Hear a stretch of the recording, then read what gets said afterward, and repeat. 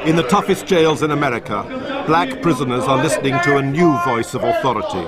Praise be to Allah, Lord of the worlds, the beneficent, the merciful, owner of the Thousands of hardened criminals are turning to Allah. alone we seek for help.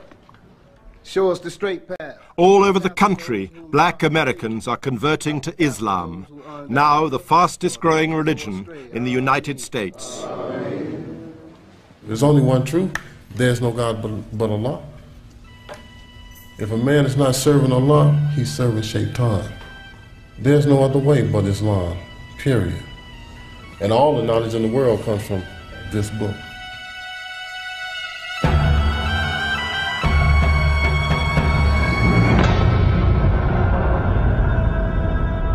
In the streets of America's cities, men like Rausan Tamir are spreading the word of the Quran. It's the invitation to learn something about the religion of Al Islam from our holy book, the Quran. It's a phenomenon that has gone largely unnoticed and unreported.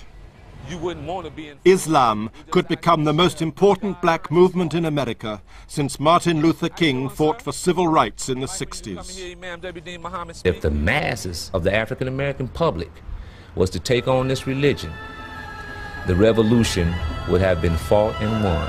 It's for all human beings. Because when you think about all human beings, Allahu Akbar,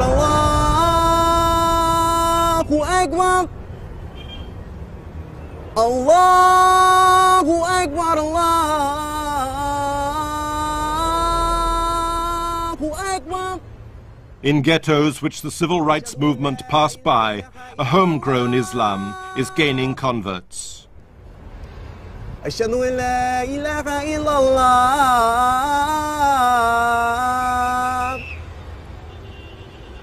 أشهد أن محمد رسول الله Islam is a new call to arms in the war against drugs, alcohol, and crime.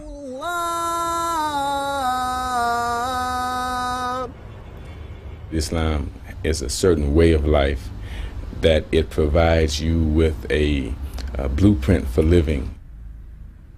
Ahmed Abderrahman was a member of the militant Black Panther Party in 1971 when he was convicted of murder. He served 21 years in jail. If uh, a large percentage of our community just did the simple thing of not using any drugs and any intoxicants, any alcohol, it would in itself bring about a change in their lives. And in many African Americans who become Muslims, just that rule in itself changes their lives positively.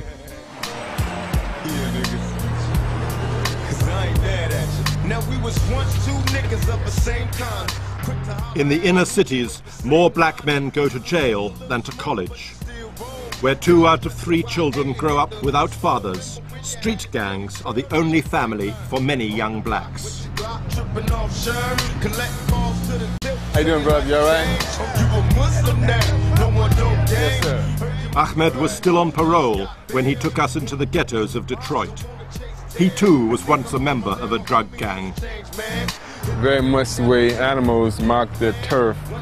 You know, gangs put signs out to tell other gangs that this is their area, to establish that this is their, their turf. Through the glamorization of it by gangster rap, it's spreading throughout the country where young people see gangs as being, uh, these kind of gangs as being one of the main ways to be hip or cool.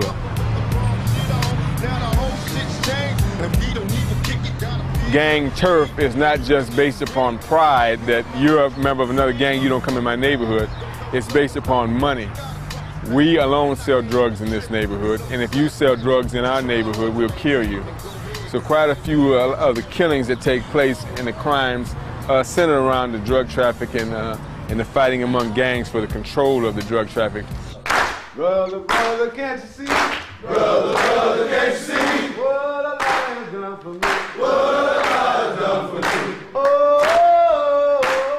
In some jails, one in three black inmates has converted to Islam. Ahmed became a Muslim after five years in jail.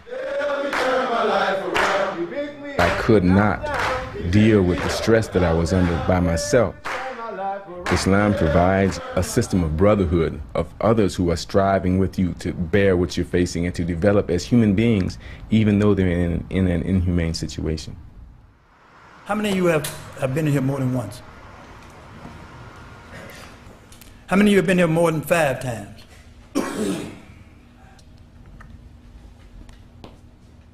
Five million people in the United States are under the supervision of the criminal justice system. If it continues to increase, this number will soon rival the six million enrolled in the nation's higher education system. Frightening. Across the country, Some of these men will return to the gangs after their release, but they all take Islam with them. It seems to offer hope of rebuilding the social and family ruins in the ghettos. I look in your faces, man, and it, and it saddens me. Because every time I look at you, I see a fatherless child. How many of you have children?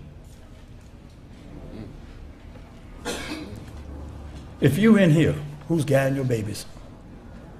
You have become Satan's, the Shaitan's instrument to take your children and fill up the prisons with.